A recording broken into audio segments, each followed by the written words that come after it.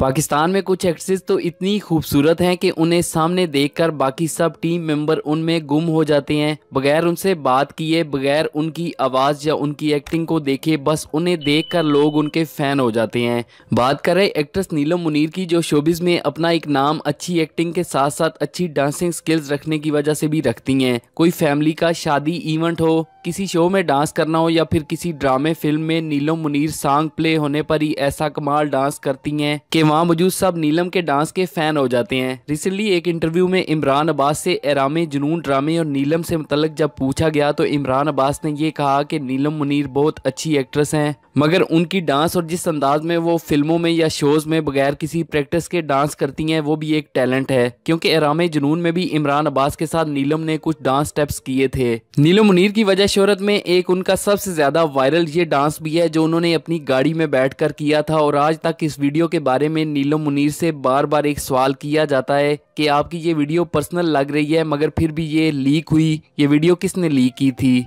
नीलम मुनीर को fans dramas के साथ साथ पाकिस्तानी फ़िल्मों में भी परफॉर्म करते देखना चाहते हैं क्योंकि मोस्टली व्यूवर्स ये कहते हैं कि आपकी पर्सनैलिटी मुकम्मल तौर पर फ़िल्मों में एज अ हीरोइन आने वाली है। सो मिलते हैं एक नई वीडियो के साथ अब तक के लिए अला हाफिज़।